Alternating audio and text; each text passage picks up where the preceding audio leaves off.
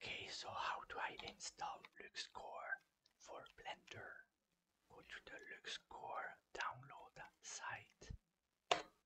Download the latest version. It's the 2.1. It's a zip file. Don't click it. Once you've downloaded it, go to Blender. Go to Edit, Preferences, Add-ons. Install from disk. Locate the zip file. Double click it. Now it's installing LuxCore. You can search for the Blend LuxCore add-on here. I'm going to use the CUDA for NVIDIA rendering. And I'm going to turn off the library. I'm also going to turn off the logs. Now close the preferences.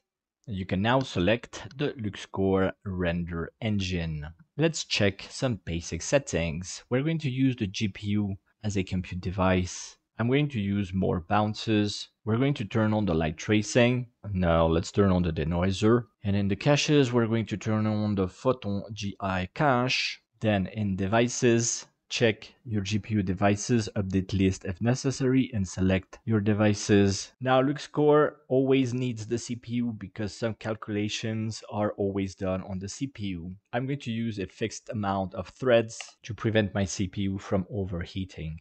Then in viewport render, I'm going to use the GPU with the light tracing, the denoiser as OptiX because it's faster for the viewport preview. And now you can turn on the viewport render preview but be informed that the first time that you turn the rendering on, LuxCore needs to compile its kernels, and it can take up to 30 minutes. That's perfectly normal, so just be patient.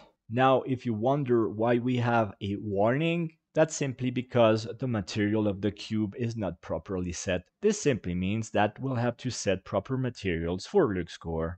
And now it's time to load the scene that you want to render.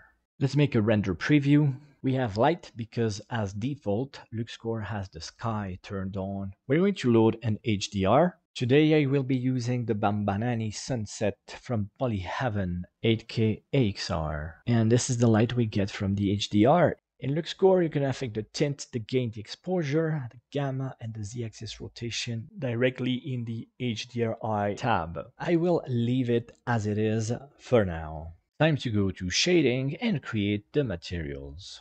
Let's create a new material. As default, we're going to get a matte material, but that's not what we want here. We want a metal. So let's go to add material, metal, and connect it to material output.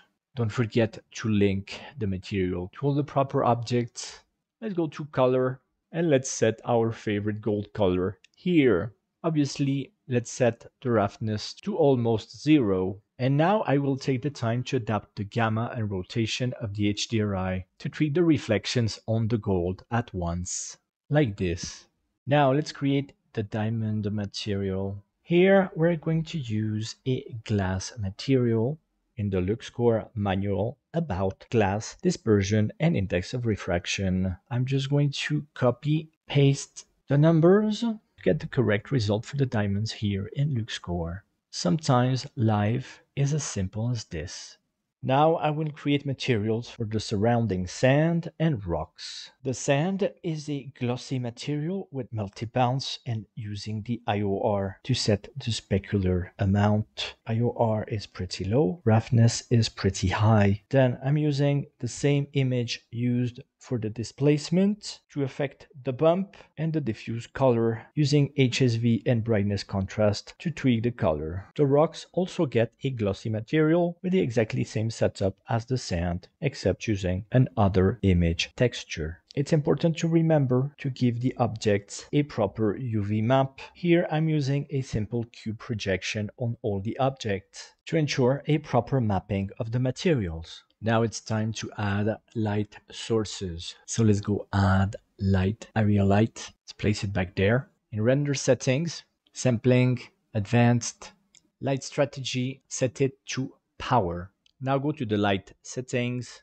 units, power, tweak the light orientation, power, and efficiency as needed. I gave this light a slight blue color using a rectangular shape. Now here in LuxCore, it's important to know that the scene will not always automatically update when you're in render preview. Go back to solid view and then again to render preview to see the updated changes. Now we're going to set up one of the most beautiful features in LuxCore, meaning the light tracing to create caustics. For that, we're going to use laser light and check the render settings. So to make it work, set a normal area light like I have down here and now make it a laser light. And we can see that now LuxCore is rendering caustics in the most beautiful way. Also check that in render settings, in light path, you have the light tracing turned on. Here, it's important to know that the caustics will be calculated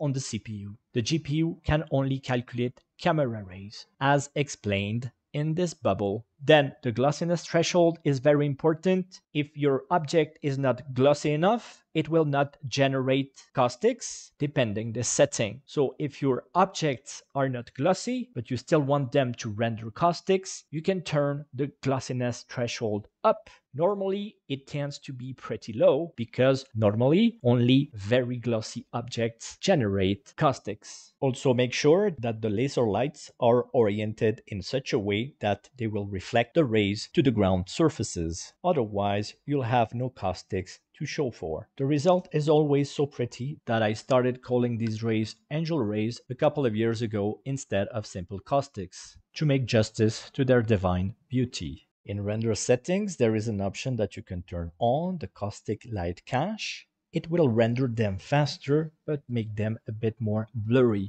Here, given your settings, LuxCore will indicate you how many light samples you will need to fully render the caustics. Given this number, 216 samples, I will set a halt condition for the render based on the light path samples at 216 when the caustics will be fully calculated to avoid longer rendering times for useless samples. This render at 4K will take several minutes. Remember, high quality renders always take longer to calculate, and that's perfectly normal. Let's save and be happy and run the render with F12 as usual. This is the result at 32 light samples after 12 minutes of render. And remember, this is a 4K render. I'm happy with this result and I'm going to save the image. In LuxCore, you can also set a depth of field using a focus object and an f-stop distance. Then you can have some bloom, a vignetting effect, and color aberration to directly affect the render with certain compositing effects. Don't forget to save and be happy. Take care and see you soon.